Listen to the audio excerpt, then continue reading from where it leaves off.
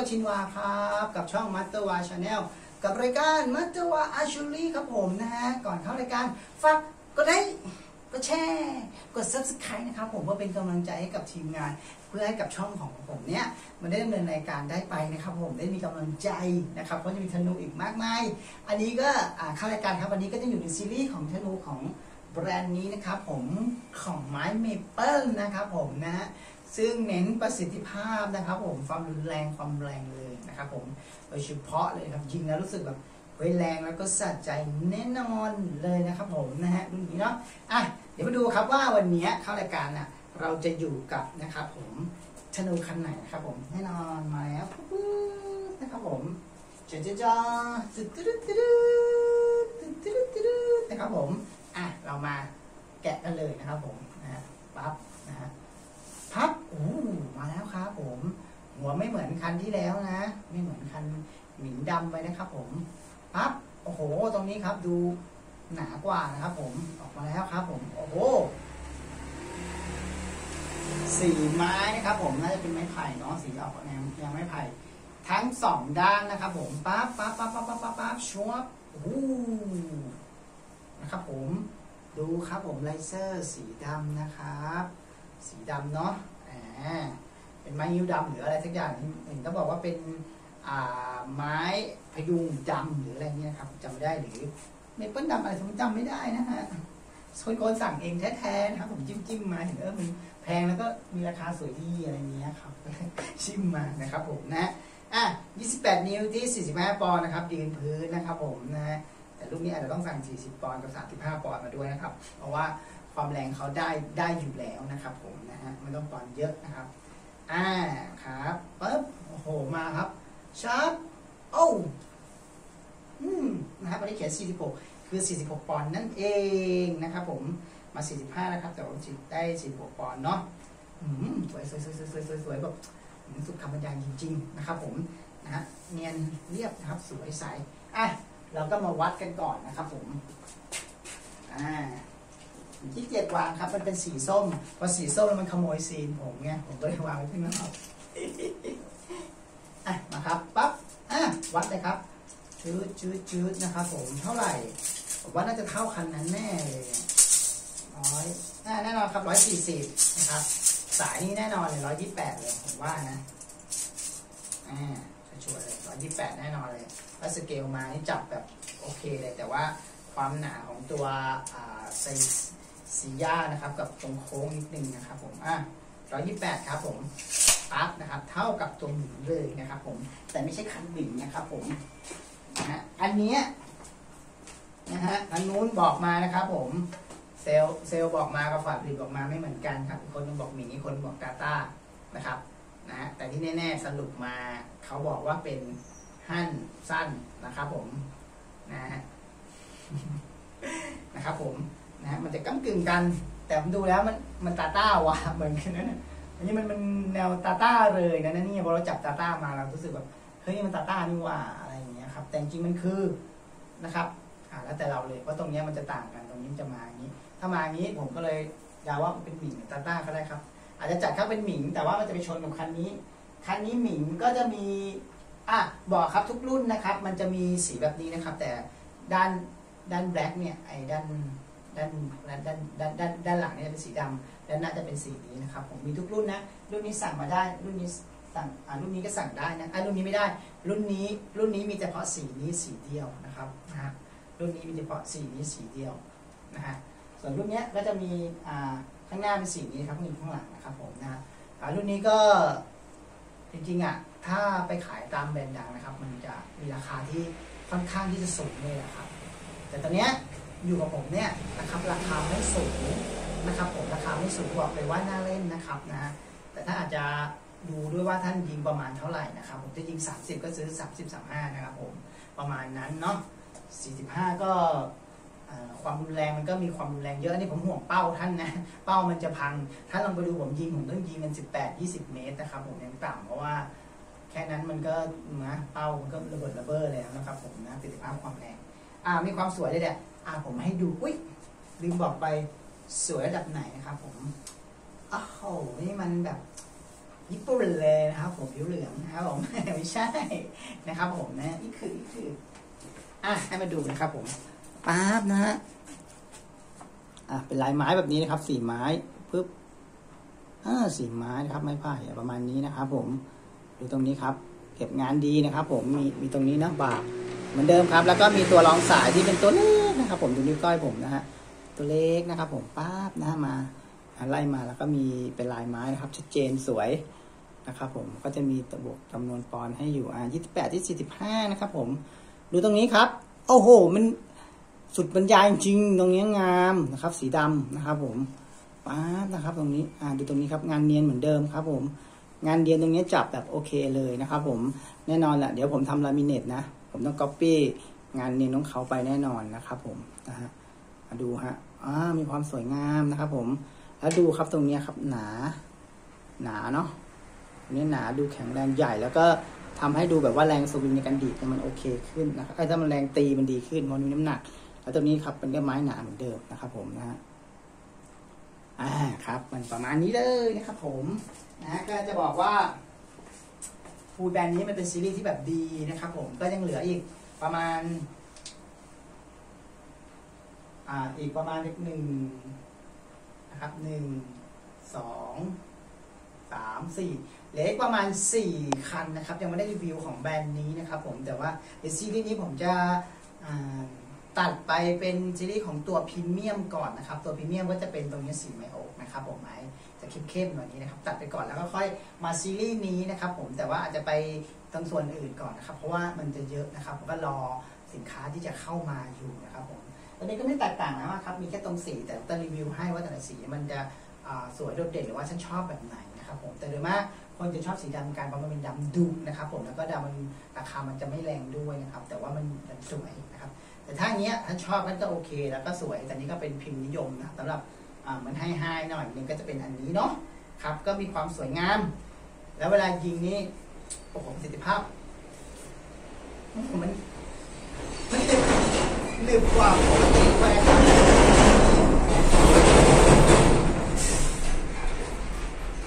อ่าครับ ตอนนี้ก็ประมาณตีสามครึ่งนะครับผม ก็ตีสามครึ่งพอดีเดี๋ยวผมต้องไปธุระนะครับ ผมเช้ามืดก็เลยแต่งตัวแบบรอไปเลยนะครับ ก็จะมีรถอ่าเทเลอร์เข้ามานิดนึงครับ เสียงก็จะคุกคุกคุกนานๆทีครับ ผมนะฮะอ่าครับผมอะแบบงานแบบเอ้ยอื้อหือคือพูดง่ายผมถูกใจกับแบรนด์นี้ยี่ห้อนี้นะครับผมนะฮะสำหรับเออสวยนะครับ แบรนด์ Masterwa ของเรานี่นะครับ ผมชอบแล้วก็ดูสวยงามนะครับ ผมนะฮะ ก็เอามาให้จับจองกันนะครับ ผมนะใครอยากได้เป็นโลโก้นะครับผมก็ได้นะครับ ผมนะทำเป็นแบบอันนี้ต้องสีอะไรวะเนี่ยสีเงินอันนั้นสีทองอะไรประมาณนี้นะครับ ผมแต่ว่าก็ยังไม่ได้อ่าทำนะครับ เพราะมันต้องสั่งเยอะกว่านี้นะครับ ผมนะฮะอ่าแล้วก็เมืองไทยคนเล่นก็ยังอินดี้อยู่นะครับ ผมเดี๋ยวถ้าเกิดมีคนเล่นเยอะจะตีแบรนด์ก็จะได้แบบเอามาให้แบบดังเลยจริงให้เลยเบอร์ไปเลยนะครับ ผมนับเรื่องอีกแล้วนะครับอะ ผมจะต้องขึ้นสายให้ดูนะครับผมว่าเป็นยังไงเนาะแต่ไม่แต่ผมไม่ได้พูดถึงว่าเออยิงแล้วมันดียังไงอะไรอย่างนี้นะครับ เพราะว่าเออผมชอบอะเดี๋ยวพูดไปมันก็กลายเป็นอวยไปนะครับ จะบอกเลยว่ายี่ห้อเนี้ยคุ้มค่ามากนะครับ ผมคุ้มค่านะครับ แล้วก็ราคาไม่แรงนะอะอันนี้ด้านบนเนาะเหมือนเดิมครับด้านบนก็อยู่ตรงนี้นะครับอ่านะครับ ผม ตอนไปยิงทดสอบนี้ ผมอาจจะต้องยิงด้วยแน่เลย เพราะผมเคยยิงยิงมาสามคันนี้แล้วมันประทับใจจริงๆประทับใจจอร์ดนะครับผมชอบมากนะครับผมเหมือนเดิมครับ ตรงนี้ก็ต้องอยู่ที่หน้าขานะนะฮะซีนี่นี้นะครับผมทุกอันหมดเลยนะครับผมทีนี้จะขึ้นง่ายหน่อยครับ เพราะมันแข็งๆนิดนึงนะครับอ่าดูกันครับบัฟนะฮะก็ใส่นะครับอ่าอันนี้ก็ดูครับ ให้ตรงกับอ่าตรงที่บ่ารองสะพานสะพานรองสายเขานะครับแล้วก็ดัน ปั๊บนะครับขึ้นง่ายอยู่นะครับ ผม 45 ปอนด์นะฮะ อืมนะครับใครสายโหดชอบกำลังครับ ได้เลยแต่คันนี้นิ่มอยู่นะครับ คันคันนี้จะนิ่มจะนิ่ม จะนิ่มกว่าพวกนะครับผมคันนี้นะที่ผมลองดูนะครับ แต่ว่าแรงมันจะเป็นแบบ มันไม่ใช่ตื้อมันเป็นแรงแบบสวิงกลับอะเนี่ยเออคันนี้จะนิ่มจะนิ่มกว่าขับเคลื่อนนะครับอ่าคันนี้น่าจะนิ่มน่าจะเป็นตรงตรงส่วนนี้เนาะมันเลยนิ่มกว่านะครับ น่าจะเป็นฟิล์มเยอรมันข้างหนึ่งเกาหลีข้างหนึ่งหรือเปล่านะครับเพราะว่าอันนี้ยังดูนิ่มมากแล้วก็ทรงแบบทรงนี้แบบสวยเป็นผู้หญิงก็มีทรงมีไซส์นะครับผมไซส์ที่เราแบบต้องการแล้วก็ อืมเยี่ยมอะอะใครชอบแบบแนวแบบขาวไม้แบบวินเทรดนะครับผมไม่ดุดันมากนะครับวินเทรดยิงแบบได้อารมณ์อะทำสมาธินะครับ ยิงในบรรยากาศแบบฝนตก แล้วพอฝนหยุดตกบรรยากาศดีๆนะครับ ผมมีน้ำค้างหยดยอดหญ้าเดินเข้าไป ยิงแบบอารมณ์ดีๆอะฟุบฟุบแต่มันแต่ว่า ลูกมันไม่ได้แบบปึ๊บปึ๊บลูกมันฟุบเลยนะครับผมนะฮะอืมสวยดูฮะมันตัดกันอะตรงนี้สีดำนะครับผมแล้วก็จะมีสีดำมาก็รู้สึกแบบมันไม่ค่อยดีเปะวะนะมันไม่ค่อยดีเปะวะก็เลยเอาสิ่งนี้มาตัดเพราะตรงนี้มันมีตัดให้อยู่แล้วนะครับ ผมมันก็ดูแบบ สวยนะครับ แต่ถ้าอยากได้ตรงนี้ก็บอกนะครับ แต่มันเวลาผลิตมันจะนานนิดนึงนะครับนะฮะพอผลิตผมจะต้องสั่งเป็นจำนวนยอดด้วยนะครับ แต่รูปทรงเนี้ยผมว่ามันโอเคนะครับ ผมมันโอเคแล้ว แล้วมันก็สวยแล้วก็ประสิทธิภาพของเขาเนี่ย เยี่ยมเลยนะครับ ผมไม่ใครป่วยไม่รู้นะครับ ผมเยี่ยมเลยนะครับ ไม่ใช่โป้งโกรธนะครับ นี่คือเยี่ยมเยี่ยมเลยนะครับ ผมนะฮะอะขึ้นสายให้ดูครับ ผมนี่ชอบ ส่วนตัวชอบ ชอบชอบชอบแบบนี้แหละประมาณนี้นะครับอะใส่แหวนก่อนนะครับผมนะฮะเพื่อไม่ให้เป็นการเจ็บมือนะครับ เพราะว่ายิมยิงอ่าผมใช้มือเปล่ายิงไปหลายร้อยลูกแล้วครับ ผมก่อนหน้านี้นะครับ หลายร้อยลูกก็บอกผมว่าหลายร้อยลูกนะครับ ผมนะยิงทุกคันนะครับ เทสให้นะครับว่าเป็นยังไงเนาะนะฮะอุ้ยนิ่มดึงหนืดนะครับผม นิ่มพอดึงมานิ่มๆนะครับ พอค้างปุ๊บมันจะมีแรงเหนี่ยวคืนแบบแรงนิดนึง คือแรงเหนี่ยวคืนแบบพร้อมที่จะปล่อยครับ คุณแค่แบบตั้งสมาธิดีๆ แล้วก็บุบออกไปครับ ผมลูกก็ออกแบบหนืดเลยนะครับ ผมโอ้โหวันนี้สปริงดีนะครับ สปริงดีนะครับ ผมแสดงว่าตรงนี้เขาโอเคนะครับผมนะฮะอืมยิงดึงดึงนิ่มครับ ดึงนิ่มแต่เวลาค้างเนี่ย มันจะหนึบมากหนึบแบบ อ่า ได้อารมณ์แบบ คุณปล่อยแล้วคุณจะรู้สึกเลยว่า มันรุนแรงอะพอดึงเข้ามารู้สึกแบบเฮ้ยมันนิ่มว่ะลูกอาจจะไม่แรงแต่พอดึงมาปุ๊บปั๊บโอ้โหนี่มันรู้เรื่องเลยแบบแรงมันดึงหนืดเข้าเลยครับมันผสมผสานกับตรงนี้ที่ผมบอกอะเคิร์ฟตรงนี้นะครับ กับกับตรงนี้นะครับ แต่ว่าตรงเนี้ยมันได้ความนิ่มนวลด้วย มันก็เลยแบบดึงแล้วแบบอืมคือถ้าปล่อยแบบ มันสะใจแน่นอนนะครับ ผม อันนี้ก็คือแบบไม่ต้องใช้ปอนเยอะก็ได้นะครับ ผม แต่ใช้ปอนเยอะรับรองว่าสะใจแน่นอนนะครับ ผมอ่านะครับ ได้ประสิทธิภาพนะครับ ผม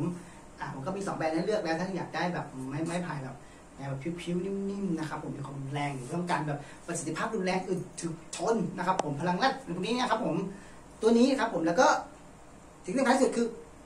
มันสวยนะครับ beautiful ครับสิ่งที่สำคัญที่สุดคือมันสวยนั่นเองนะครับ ผมก็เลยทำให้รู้สึกแบบ ชอบมันอะชอบอะอะส่วนตัวนะ คนอื่นไม่รู้นะครับผม อะแล้วก็ดูการถอดสายกันครับว่าเป็นยังไงเนาะเมื่อคันนี้พูดน้อยจังนะครับ แต่มันแต่บอกว่าพูดน้อยแต่มันสวยมากนะครับ ผมคุณดูอย่างนี้นะครับอาจจะไม่รู้นะครับ ผมเหมือนที่ผมก่อนซื้อมาเขาส่งแคตตาล็อกมาให้มาดูรูปอะส่งมาให้ดูแบบ อย่างเงี้ยดูแบบ เออ ไม่สวยเลย แต่พอตัวจริงออกมาอย่างเงี้ยอย่างเงี้ยดูแบบไม่สวยเลย เนี่ย แต่พอตัวจริงออกมาหุยมันสวยมากอะไรเงี้ยครับอื้อหือมันยายไม่ถูกจริงอะผักเหมือนเดิมครับ ตรงนี้ก็เอาไว้ตรงตรงน่องนะครับ ให้เรียบร้อย อ่าครับ ผมดึงง่ายครับรุ่นนี้ดึงง่าย แล้วไม่มีเคิร์ฟแบบนี้ครับทำให้ดีขึ้น โอเคดีนะครับ ผม เนื่องจากมันเป็นไม้ที่มีความหนารุนแรงแล้วก็เหลาลงมา เพื่อลดปอนของเขานะครับ มันให้ประสิทธิภาพของเขาที่ มันเต็มประสิทธิภาพนะครับผมนะฮะทำให้คือพูดง่ายคือมันอึดถึกทนนั่นเองครับ ผมเพราะว่าเหมือนฉันใช้ไม้ซุงมาทำอะครับ มันก็จะทนกว่าแม่ครับ แต่ไม่ทำให้มันแบบได้รูปทรงไม่ได้ทำมันแบนเจี๊ยบจนแบบเหมือนไม้ธรรมดาหักอะไรเงี้ยนะครับ ก็ได้ประสิทธิภาพเลยแหละโอ้โหชอบอะแต่แสดงอาการไม่ได้ครับเหมือนแบบเฮ้ยคุณเชียร์เวอร์ไปเปล่าแต่มันก็โอเวอร์จริงๆอะแหละครับ แต่ว่า ประสิทธิภาพของเขาบอกเลยว่า เยี่ยมรูปทรงสวยนะครับ ผมอันนี่ดึงนิ่มกว่าเพื่อนเลยดึงนิ่มกว่าเพื่อนเลยแหละครับ ผมก็โอเคอยู่เนาะอะครับผมยังไงก็ไปช่วงถัดไปนะครับผมนะฮะผมจะพยายามยิงให้ได้ทุกคันเลยนะครับผมเรารีวิวเนาะไปเลยโชว์โชว์สวัสสวัสดีดีคครัรับบก็มาถึงช่วงภาคสนามนะครับผมก็พบกับผมครับชินวาครับ กล้องครับผมดอส ครับครับผมผมอ่าครับผมสามคนนะครับวันนี้น้องแบงก์ก็กลับก่อนนะครับ เนื่องจากผบทบที่บ้านนะครับ ต้องให้ไปรับนะครับ ผมเดี๋ยวจะมีปัญหานะครับผมก็ในรายการกันสามคนนะครับ ก็เป็นช่วงยิงธนูก็เป็นช่วงคันนี้เนาะเป็นอ่าคันตาต้า หมิงหมิงเหนือหมิงครับเพราะว่าอ่าความความยาวเขาเป็นหมิงอืมถ้าสั้นกว่านี้จะเป็นตาต้านะครับผม เริ่มแยกออกแล้วนะครับผมครับนะฮะแล้วก็ตรงเคิร์ฟนะครับอ่าคันหมิงเนี่ยข้อดีของเขาก็คือ เป็นธนูที่ยิงหนักนะครับ ผมหนักทั้งตอนดึงแล้วก็ตอนปล่อยลูกนะครับ ผมนะฮะแต่ว่าอ่ามันก็ไม่ได้หนักแบบกระด้างนะครับ แต่มันมีหนักที่มีความนิ่มนวลนะครับ ดึงแล้วรู้สึกได้ฟิวชั่นนะครับนะฮะมันก็จะมีสีดำเนาะกับอ่าสีลายไม้นี้นะครับ ผมซึ่งตรง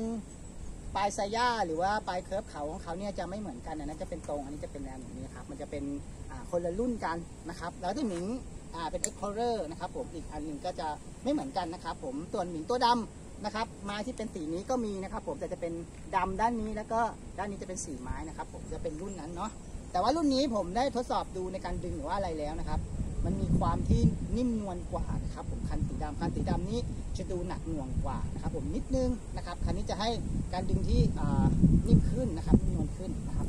อะถือยังไงก็ก็ว่าไงครับ เห็นด้วย ไม่พูดมาก โอเค เดี๋ยวเรามายิงกันเลยนะครับ ผมก็เอายิงแบบว่าตามความสนุกไปนะ ถ้ายิงแล้วรู้สึกว่าเฮ้ยมันเพลินแล้วแบบบางทีแบบเฮ้ยเปลี่ยนตรงนี้ตรงนี้เราก็จะยิงจนกว่าให้มันจะเข้ารูปเลยนะครับ ผมก็ไม่ได้ฟิกมากว่าต้องยิงเออแค่นี้พอเนาะเอาประมาณนั้นนะครับ เพราะผมเองก็บางทียิงก็เพลินง่ายเหมือนกันอะครับผมอะครับผมเดี๋ยวใครคนแรกครับสวัสดีครับสวัสดีครับน้องแบงค์เดินทางกลับถูกอยู่นะ โอเคหลงก็แย่แล้วนี่ตามทางเดินนะครับผม อะให้น้องดอทนะครับผมลองยิงเนาะมือใหม่นะครับผม โอเค เป็นไง นิ่มนวลขึ้นไหมยอดดิแต่ลูกหนักหน่วงเหมือนเดิมมันก็นิดๆหน่อยๆแหละครับ ไม่ต้องห่วงเรื่องความเร็วนี่ความแรงของลูกนะฮะโอเค ค่อยๆปรับเอ้ลูกวิทย์ไหมไปยังลูกวิทย์ไปยังเนี่ยยังเลยเอ๊ะต้องได้ต้องต้องวิทย์ด้วยนะนี่ต้องวิทย์ขอบคุณครับนี่เอามีของขึ้นม่ใหม่ได้จริง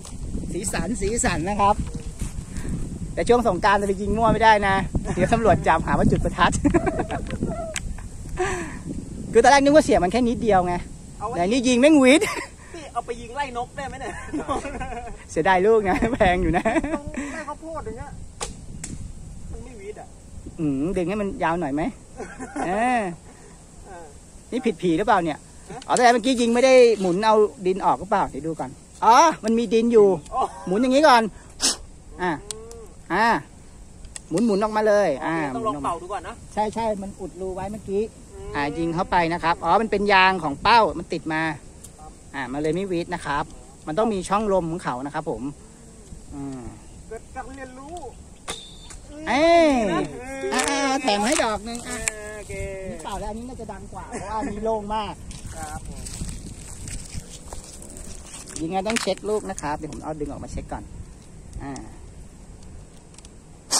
อืมอืมโอเคโอเค อ่าครับเดี๋ยวอ่าครับหาพลาสติกกล้องมาอันนี้ไม่วิทครับผมเอาวีดไหม เน้นเน้นยิงเงียบยิงงั้น เงียบแต่ซึบนะครับผมอ่าเป้าจะไกลหน่อยนะคะ เพื่อถนอมลูกนะครับผมเพราะว่าเรายิงกันปอนค่อนข้างที่เอ่อไม่ใช่หนักอย่างเดียวครับ ด้วยความแรงของคันธนูครับผมด้วยวิสตึบอ่าครับผม เนื่องจากเนื่องจากคันธนูออกแบบมาให้มีน้ำหนักมากกว่าคัน 45 ทั่วไปนะครับ มันก็ยิงไกลนิดนึงนะครับผม8เมตร 20 เมตรครับผม ชืบวุ๊บโอ้โหครับผมเริ่มจับทางได้นะครับผม อ่า นิ่มมันนิ่มกว่าดำไหมเฮ้ยพี่ผมดึงได้ยาวกว่า ผมดึงมาถึงดึงหูเลยนะอ่าเมื่อกี้มันดึงใช่ เพราะว่า ตัววัสดุไงตึ๊บอ่าดึงได้นิ่มนวลกว่านะครับ ผมดึงได้นิ่มนวลกว่าเพราะเมื่อวานลองดึงดูแล้วเออ มันดึงแบบ ปึ๊บดี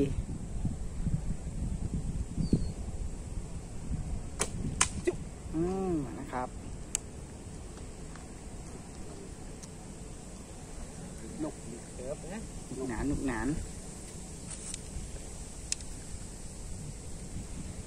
ก็รุ่นพวกนี้มันจะมีหน้าต่างที่มันเล็กหน่อยครับ มันสามารถยิงได้สองด้านนะครับ แล้วก็ยิงสามนิ้วได้หนึ่งนิ้วโป้งก็ได้นะครับผม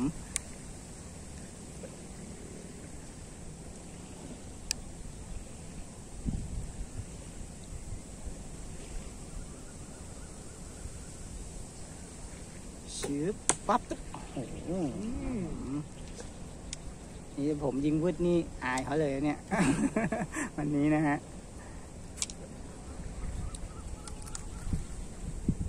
ก็ให้ดูนะครับ ผมการยิงของสาม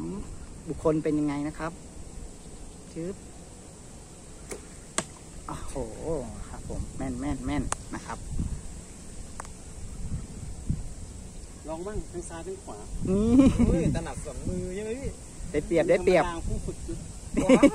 ใช่ไหมเราต้องถนัดนะครับผมจอมยุทธหนึ่งในตลาดแต่ติดไปชนะที่ความไวครับนี่ก็ยิงนะครับสลับมือซ้ายขวานะครับปึ๊บ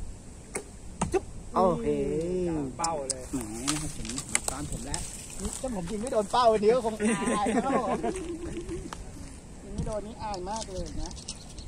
ตรงนี้นิดหนึ่งนะครับอ่า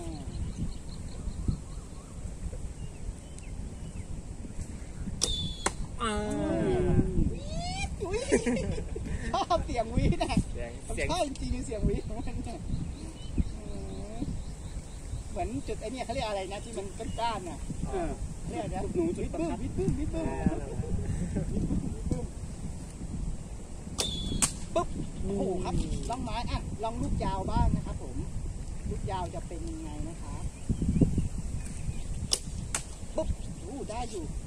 กยาวก็อ่าลูกนี้มัน 6.2 ด้วยครับ มันจะเล็กกว่า ก็เลยทำให้ลูกเนี่ยครับพุ่งได้เร็วกว่าเล็กน้อยนะครับผมนะฮะอ่าแล้วก็แต่ว่าสปายเยอะไปนิดนึงโอ้ยมาเลยครับมาเลยครับมาคุยเลยหวันึงกว่าว่านึกว่ามาเลยครับพี่อีกทีนึงเดี๋ยวแถมเพลินครับเออรู้สึกไม่รู้ผมรู้สึกนะมันดึงนิ่มกว่าคันสีดำเนาะ มันดึงดึงเหรอพี่เออมันดึงดึงๆมันมีสปริงที่อ่าดีกว่าน่าจะเป็นส่วนของตรงนี้เนาะไฟเบอร์ก๊าซมันไม่ได้มันไม่เป็นไฟเบอร์ก๊าซดำที่สองด้านประกบเหมือนเหมือนคันที่แล้วเอ้ยคันแล้วมันไฟไฟเบอร์ด้านหนึ่งเนาะใช่ อ่าอันนี้เป็นไฟเบอร์ใส อ่าก็ได้สามใช่แล้วก็ยิงรู้สึกว่าเออดึงดึงนิ่มกว่าเล็กน้อยเล็กก็ไม่เล็กน้อยก็มันก็เยอะเลยแหละนะครับผม แต่ว่ารู้สึกแบบ เฮ้ยโอเคกว่ากว่ากว่าเยอะตอนแรกนึกว่ามันจะดึงแบบ ดึงหนักหน่วง ยิงหนักหน่วงครับ แต่อันนี้ก็ดึงนิ่มๆแล้วก็ยิงลูกก็หนักหน่วงในระดับหนึ่งนะครับผมแต่ผมไม่แน่ใจว่าระดับเท่ากันหรือเปล่าความหนักหน่วงน่าจะแบบน้อยๆกว่ากันนิดนึไม่งนะ ไม่หนีไปกว่ากันครับ ครับเพราะว่ามันก็มีการทดแทนกันเกิดขึ้นนะครับ ถ้าอยากยิงนิ่มยิงบาดก็อันนี้นะครับผมยังไงยังไงมันก็ได้สปีดลูกได้ความแรงนะครับ แค่อันนี้ก็นิ่มกว่านิ่มกว่านิดนึงครับ อืมนิ่มแล้วก็เสถียรเนาะใช่เสถียรมาก เพราะว่าลูกลูกที่มันได้ความนิ่มแล้วก็เสถียรเพราะว่ามันไม่ต้องแบบไม่ต้องกะเผื่ออย่างนี้เลยน่าจะเป็น 45 ปอนด์เพราะว่าเป้าของเรายิงก็อาจจะจากกล้องที่ถ่ายไปแพนไปน่าดูนะครับว่ามันก็อืมไกลในระดับหนึ่งนะครับ จากรถจากคราวที่แล้วนะคราวที่แล้วมันจะไกลมากนะครับ ผมอันนี้ก็ลดลงมาอีกหน่อยหนึงแต่ว่ายังไกลอยู่ แต่ว่าลูกที่พุ่งออกไปเนี่ยก็เป็นระนาบเดียวเลยนะเป็นระนาบเดียวครับ ไม่ต้องเผื่อนะครับเพียงแต่ว่าอ่าที่คุณกล้องอาจจะดึงประมาณ 26 เนาะถึงนะ26 27 28เห็นมันจะมีเหลืออยู่บนนี้อ๋อยิงไม่เต็มบางลูกก็ไม่ไม่เต็ม19อ่าผมยิงยี่สิบเก้าสามสิบเอาวันที่เก้าสามสิบนะครับยิงเต็มบ้างไม่เต็มบ้างก็อ่าให้ลูกที่ก็ยังพุ่งเสถียรอยู่นะนะครับ แต่ว่าหัวนกวงนกหวีดอะไรนี้มันก็จะมีความหนักหน่อยหนึ่งก็อาจจะดึงให้มัน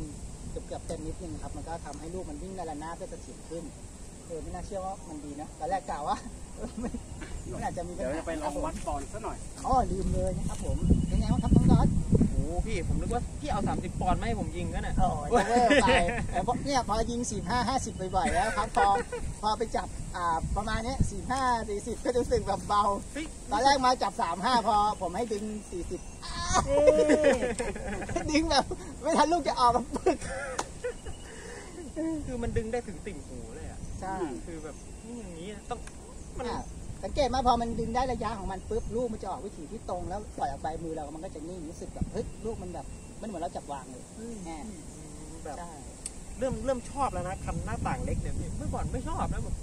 เอาอีกแล้วมาบ่นอยู่เลยพี่เนี่ยครับมันเล่นจับยิงแล้วอะไรก็ไม่รู้นะครับผมโอ้นะฮะคือคือพูดง่ายคือเรายังหาข้อดีของธนูไม่ได้ คือ mindset ของเราบางทีมันมีแบบ การมองโลกในภาพลบอะ มันก็จะเป็นแบบ อันนี้มันคือปัญหา นี่มันคือข้อด้อย แต่จริง ๆ มันไม่มีข้อด้อยข้อเสีย ข้อด้อยมันก็คือข้อดีที่อันอื่นที่มีอืมใช่ไหมถูกปะโอ้จริงๆเกิดการเรียนรู้เลยนะจริงๆจริงๆธนูอะดีทุกคันแหละครับทุกแต่ว่าแต่ว่าเขาเรียกอะไรธนูแต่คันมี character มีลักษณะของมันอยู่ ฉะนั้นก็เอยบางถ้ามันแรงก็คือความ character ของมัน มันนุ่มก็เป็น character ของมันครับขึ้นอยู่กับว่าคนยิงชอบแบบไหนนะครับใช่ คนตัวใหญ่ก็จะเป็นแนวหนึ่งตัวเล็กก็แนวหนึ่งอืมนะครับ แล้วก็ตัวเล็กมันอาจจะชอบไม่เหมือนกันก็ได้บางตัวเล็กอาจจะชอบแบบคันยิงใหญ่ๆก็และมีแล้วแต่จริตของแต่ละคนนะครับใช่อ่าครับก็ว่านั่นแหละครับคือเราก็มาลองรีวิวธนูทดสอบดูว่าเพื่อหา character ตรงนั้นของแต่ละคันว่า แต่ละคันธนูที่มีแล้วมันมี character ยังไง เพื่อที่ว่าเอ่อผู้ชมหรือว่าลูกค้าที่มาซื้อสินค้ากับเราเนี่ยจะได้ได้ของที่ตรงกับความชอบ ของเราเองใช่ครับ เพราะว่าอ่าแต่ก่อนผมรีวิวผมยิงคนเดียวเนี่ยผมผมยิงกับผมพูดผมดีไปหมดอะทุกคันนะครับ แต่คราวเนี้ยข้อดีมันตรงเนี้ยถูกพิสูจน์แล้วจากหลายคนนะครับ ที่ลองยิงดูนะครับ เพราะว่าธนูทุกคันน่ะมีข้อดีหมดอะไม่มีข้อด้อยข้อด้อยมันก็คือ ข้อดีที่คันอื่นมันไม่มีนะครับบางคนบอกว่า อันนี้มันยิงกระด้างจังเลยบางคนแบบตัวใหญ่ยิงน้าวแล้วแบบเอ่อมันยิงเล็กไม่ได้ยิงเล็กก็มันจะแกว่ง นะครับมันปอนเล็กมันจะแกว่งต้องยิงแบบหนักๆถึงจะคอนโทรลได้นะครับ มันก็จะเป็นอาของบุคคลนะครับตรงนี้ เพราะว่ามันจะไปทดแทนสรีระของคนด้วย เพราะคนเกิดมามันจะอืมเรียกอะไรมันไม่เหมือนกัน ไม่งั้นเดี๋ยวมังโกมันก็ธนูมันก็ต้องนิยมไปแบบสมัยก่อนก็ต้องใช้แบบเดียวกันทำไมถึงมีหลายแบบล่ะอะไรอย่างเงี้ยนะครับ ประมาณนี้เนาะลองเราต้องวัดปอนด์นะครับเมื่อกี้เนาะถามไม่เพื่อเพื่อเพื่อเอ๊ะไอ้ที่พูดมา ยิงดี ยิงเบา ยิงนุ่มยิงแม่นอะแล้วจริงหรือเปล่า อะแล้วมันดิ้งยิ่งกว่าคันนู้นอาจจะเป็นแบบปอนด์ไม่เท่ากันเลยหรือเปล่า45 ปอนด์จริงไหมไม่รู้ต้องทดสอบอู้ครับ อ่า ซูมซูมซูมอ่า45.18 นะครับ ก็ตรงนะครับ 45 ปอนด์นะครับ ฉะนั้นแปลว่า ความรู้สึกของทุกคนที่บอกว่ารีวิวดึงแล้วมันนุ่มขึ้น หรือว่ากระด้างน้อยอะไรก็แล้วแต่จริงครับที่น้ำหนัก 45 ปอนด์นี่แหละครับ character ธนูปอนด์เท่ากัน แต่ความรู้สึกในการยิงไม่เหมือนกันครับแม้จะเป็นรุ่นเดียวกันก็ตามใช่เพราะว่าอันนี้แหละคือความมหัศจรรย์คือความแตกต่างของ แต่ละคันนะครับ ก็คือวัสดุของเขานะครับแค่เปลี่ยนวัสดุอารมณ์ก็เปลี่ยน แต่ถ้าอยากได้ครึ่งครึ่งๆกลางๆของคันนี้ระหว่างคันดำนะครับ ก็สั่งตัวที่เป็นทั้งหน้าใสทั้งหลังดำนะครับผม อันนั้นจะได้ครึ่งครึ่งๆกลางๆแน่นอนนะครับนึกว่าผมนึกว่าสั่ง takedown เพราะได้ครึ่งบนกับครึ่งล่าง เดี๋ยวครึ่งล่างเก็บไว้ที่ผมครึ่งบนเก็บเก็บไว้ที่คุณเวลาจะยิงก็มาเจอกันแล้วก็นัดอีกคนหนึงที่เก็บสายนะครับผมไม่ใช่นะครับผมอะยังไงครับวันนี้ทีมงานนะครับผมมาสเตอร์วา Channel กับอ่าชินวาน้องก้องแล้วก็น้องดอทนะครับผมก็กราบสวัสดีครับสวัสดีครับเฮ้ย